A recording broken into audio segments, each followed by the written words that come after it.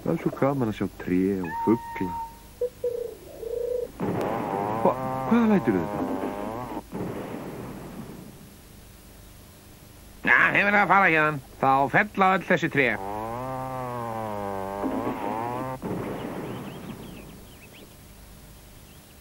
Nú eiga fugglarnir hvergi heima. Ég skal búa til tré.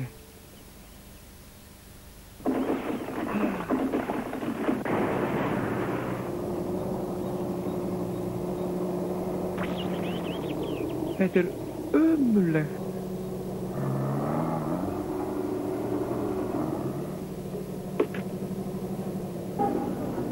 Alltaf er verið að leggja nýja vegi og þá þarf ofta að fella trén.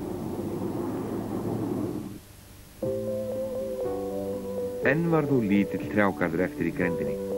Kom í boltaleg, Barbasveit. Tilbúinn.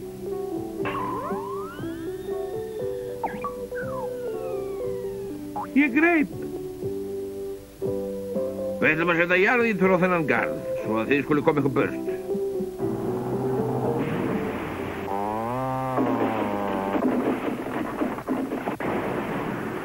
Þeir skulu sko ekki fá að skemma garðinn. Komdu nú, Barbaþór minn. Ah, hér á víst að reysa grafhísi.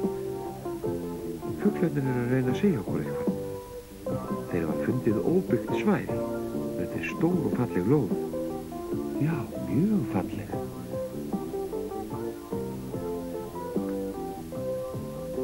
Hér mætti gera barnaleikvall.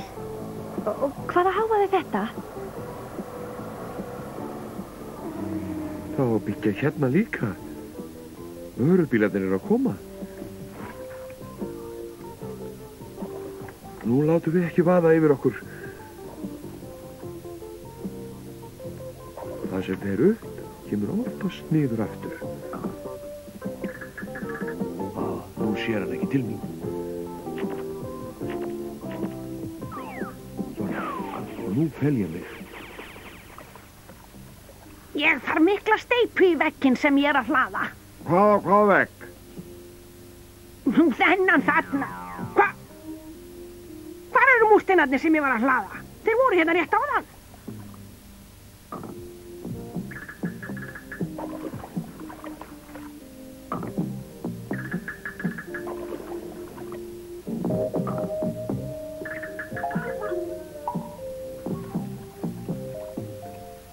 Ég skal sko hlaða þennan vekk á mettíma.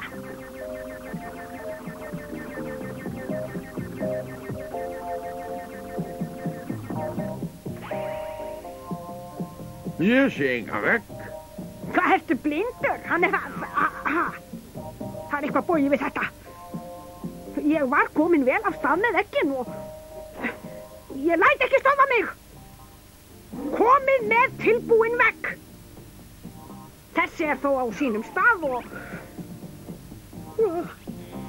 Ha, hva, Nú er okkur nóg bóðið. Hér verður ekki byggt neitt. Þetta á að verða barnaleikvöllur. Nei! Húrra, húrra! Þeir eru farnir. Nei! Nú erum við leikvöll. Já! Fyrsta sem verður að gera er að gróða sér þetta tré. Svo skulum við hafa leiksvæði og felustaði og fullt af rólum og rennibrautum.